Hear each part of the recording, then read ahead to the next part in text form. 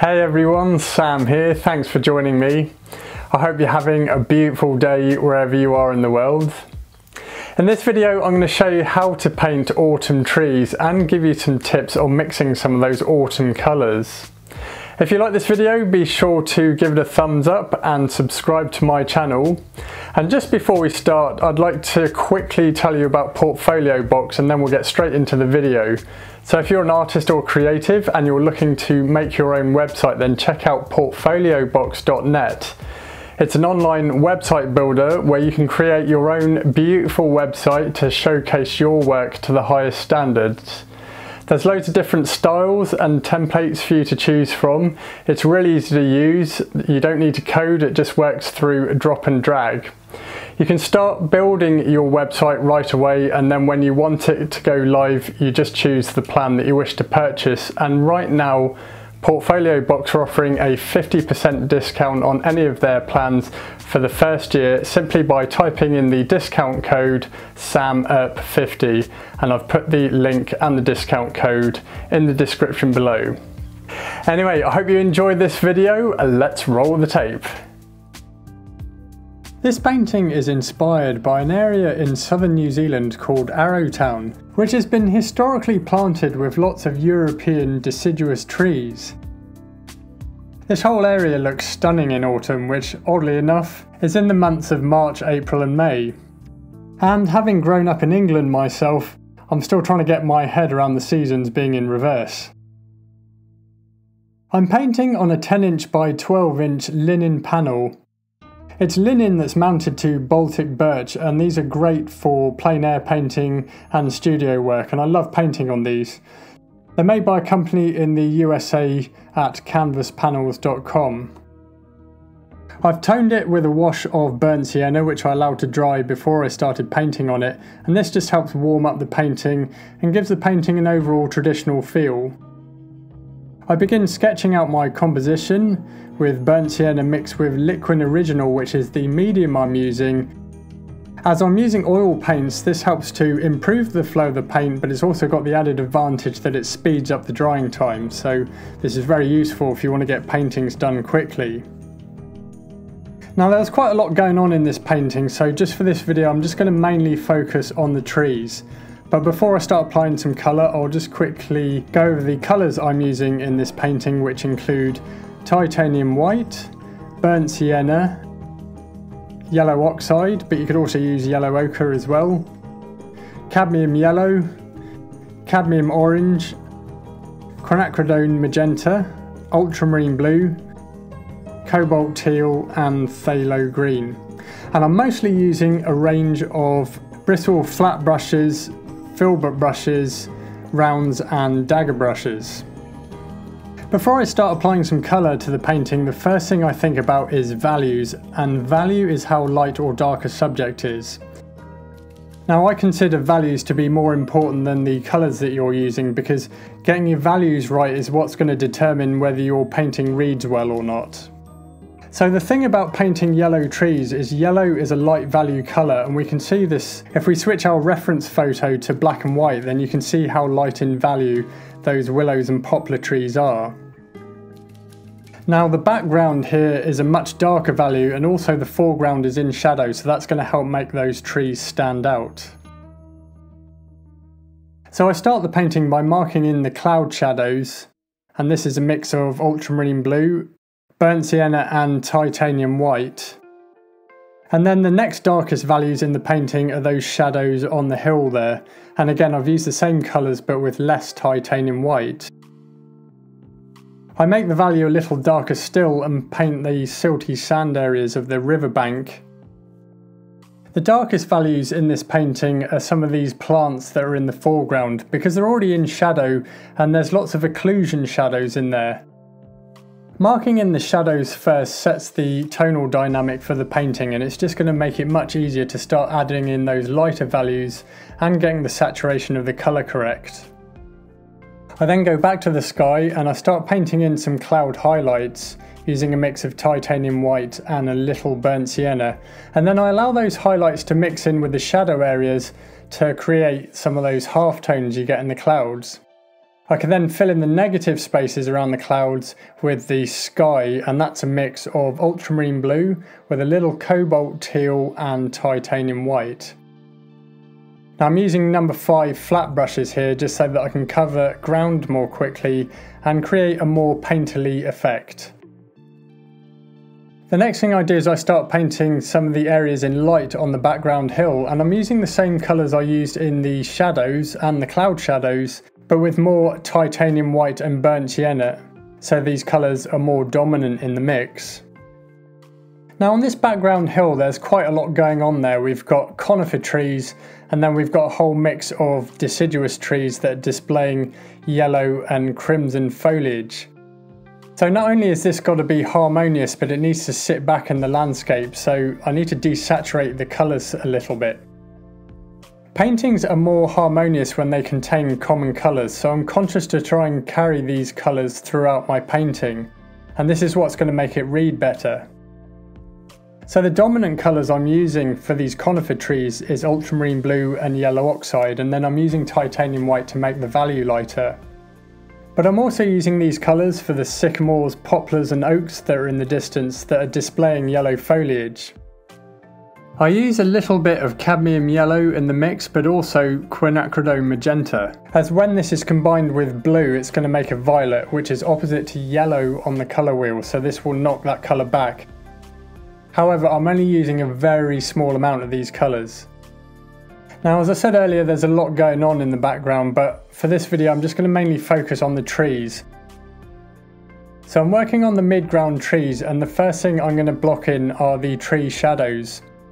Now, because yellow is a light value colour, those tree shadows are going to be a lighter value colour as well than say if it was a conifer tree, or if the tree still had its green leaves on it. If you look closely at some of these shadow colours, you'll very often find that they're not a so much of a dark yellow but a greenish brown. So in this case what I've done here is I've mixed yellow oxide with ultramarine blue which to start with would make a green but then I mix in some quinacridone magenta. The red in the quinacridone magenta being opposite to green on the colour wheel is going to desaturate that colour so it's not looking so green.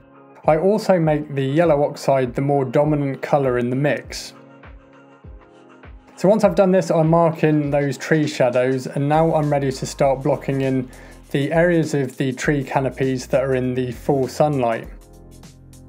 Now most of the trees in this painting are willows and poplar trees and their foliage is a very similar colour. The willows are perhaps more of a lemon yellow in the foliage.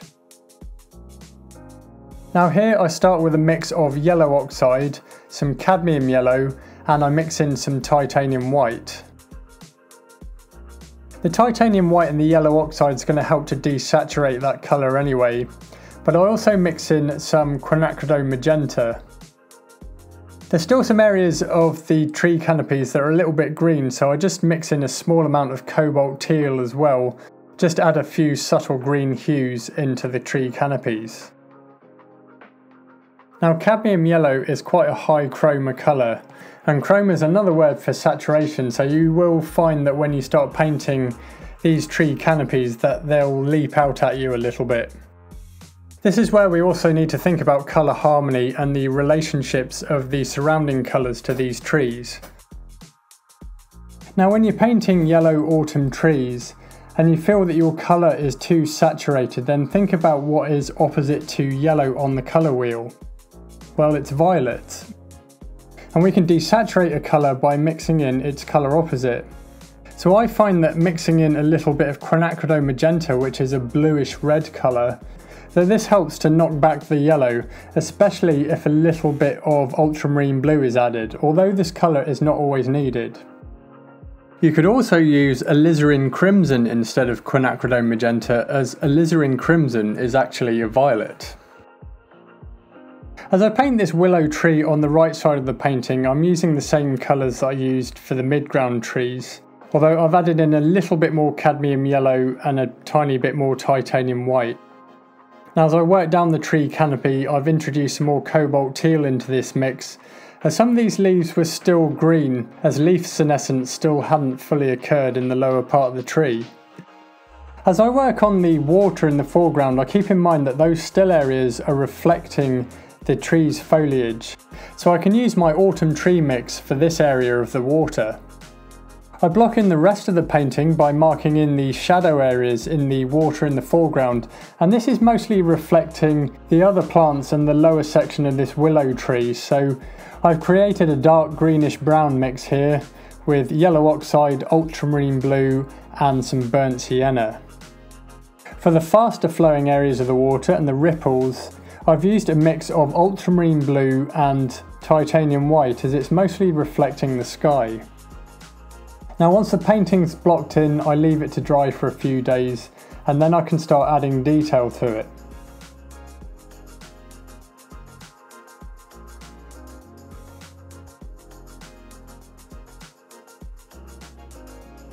Once the painting's dry, I then start with the furthest zone away in the painting and that's the sky and clouds and I start adding some more detail to them. I'm also using smaller brushes, mainly number 3 filbert brushes. And then the same for when I come to work on the trees and foliage on the hill in the background. For this I'm mostly using a combination of number 2 flat brushes and number 3 filbert brushes. I don't want the background hill to be too detailed either because it's going to start becoming confusing to the eye and I don't want it to spoil the composition. So now I'm going to work on these willow trees in the midground and I'm going to start building up the form and definition within the tree canopies. I want to create some of that feathery looking foliage that's so characteristic of willow trees. And the colours I'm using here is a mix of yellow oxide, cadmium yellow and titanium white. And then I also mix in a small amount of ultramarine blue and quinacridone magenta. And these combined are going to make violet and of course, violet being opposite to yellow on the colour wheel is going to help to desaturate the colour a little bit. However, I'm using a very small amount of these colours. The yellow oxide and cadmium yellow are going to be the dominant colours in this mix. I'm applying the paint with a number 3 filbert brush and using that rounded end to layer on the paint that's going to communicate clumps of leaves. Now I've made sure that the value of this colour is lighter than the previous layer as this is going to help to build up the three-dimensional form within the tree's canopy. I use a similar colour mix for the willow tree in the foreground and I'm using a combination of quarter inch bristle dagger brushes and number 2 flat brushes to start painting in the suggestion of that feathery looking foliage, making it almost look like it's floating in the canopy. I'm still using relatively broad brush marks, but these brush marks are going to be getting finer as I work through the painting. Now once I've marked in these highlights I can then start building up the form of the tree by restating some of these tree shadows. Once I'd worked on these trees I then spent time working on the foreground areas of this painting, adding more detail, and then I allowed the painting to dry once again so I could start adding much finer detail to the trees and foreground of the painting.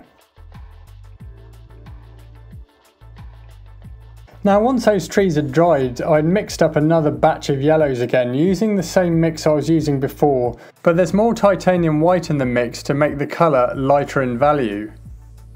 I can readjust the saturation by adding in some more cadmium yellow, and then what I've done here is that I'm applying the paint with a quarter inch bristle dagger brush. And I'm loading the end of those bristles with paint and just dabbing it on which helps to communicate leaves shimmering in the full sunlight.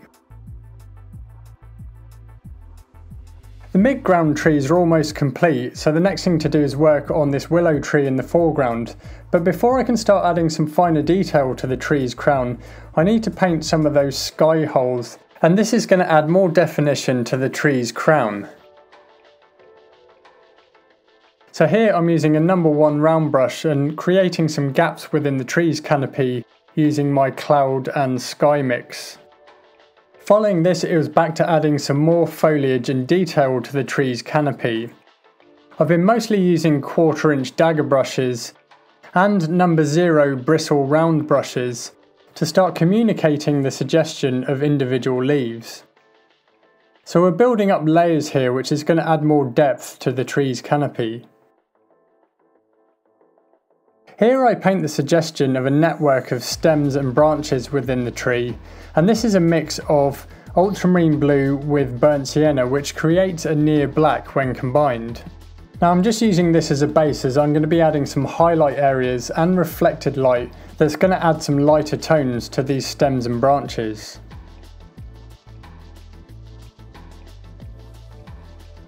When it came to adding the final detail to these trees, I'd let the painting dry once more, and I used an old number 2 bristle flat brush in order to paint the suggestion of a few highlights within the tree's crown.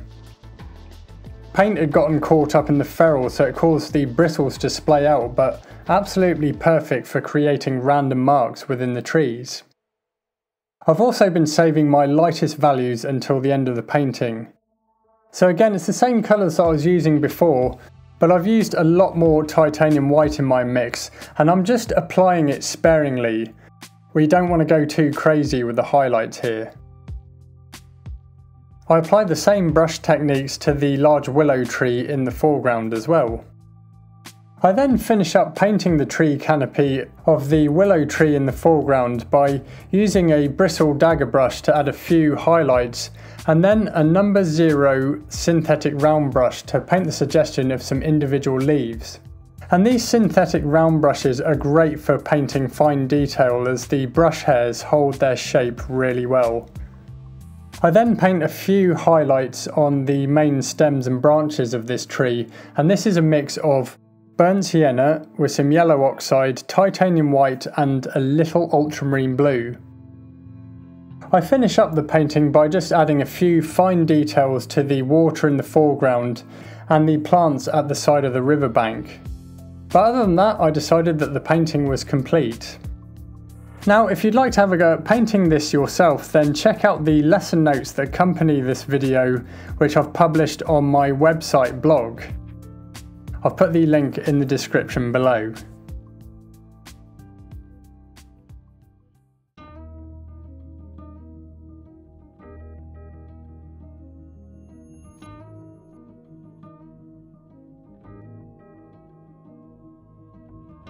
Thanks for watching, I hope you enjoyed this video and if you did be sure to give it a like and subscribe to my channel. Also please leave me a comment in the comments section below. Now if you'd like to learn more about painting landscapes then check out the painting resources I have on my website at samuelearp.com. I've lots of free written painting tutorials that you can copy and use the reference photos and also have full-length painting tutorial videos for sale on there as well. You can also get instant access to all of my full-length painting tutorial videos by subscribing to me on Patreon for just $5 a month and every month you get a new full-length painting tutorial video. So I've put the link in the description below. If you'd like to see what artworks I'm working on at the moment, then you can follow me on Instagram and Facebook, and also my other website, samuelearpfineart.com, which is just to showcase my paintings. And I've put all the links in the description below. Don't forget you can get 50% off your own website by signing up to portfoliobox.net and as I say they're offering 50% off any of their plans for the first year simply by typing in the discount code SAMEARP50. So I've put everything in the description box below. Anyway, thanks for watching. I hope you enjoyed this video. Have a beautiful day and I shall see you next time.